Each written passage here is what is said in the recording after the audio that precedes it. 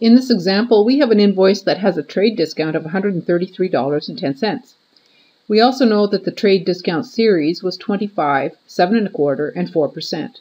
We're asked to determine what the original list price was and what the net price was. Let's see if we can figure this out.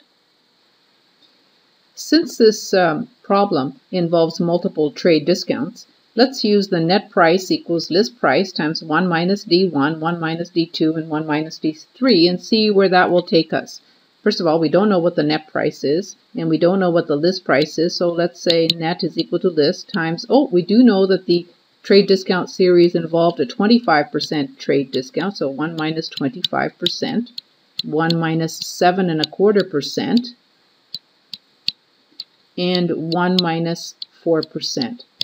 So there's our series of trade discounts applied to the um, formula. So we've got 0.75, our net cost factor for the first trade discount, 0.9275, and 0.96. Those are our three cost factors. Now let's multiply those three cost factors together and we end up with a net price is equal to list price times 0. 6678. This tells us that the net cost factor is 66.78% of the list price.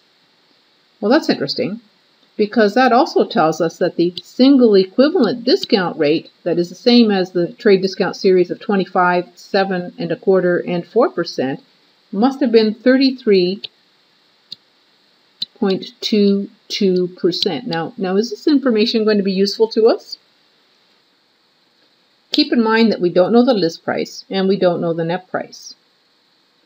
But we do know that the amount of discount, the amount of discount is equal to $133.10.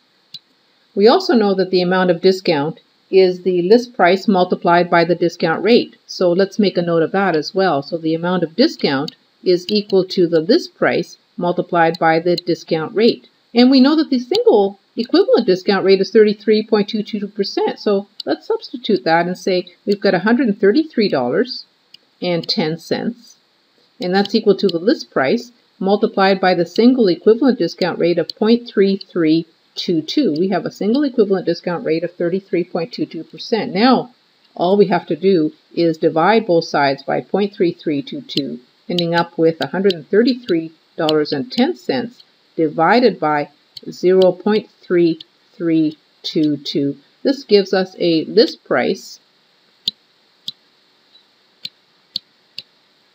of $400.60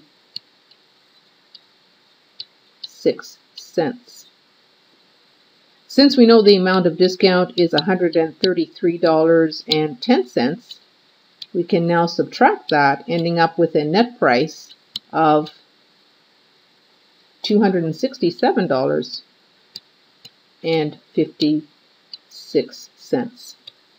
So the list price is $400.66. The net price is $267.56 and 56 cents.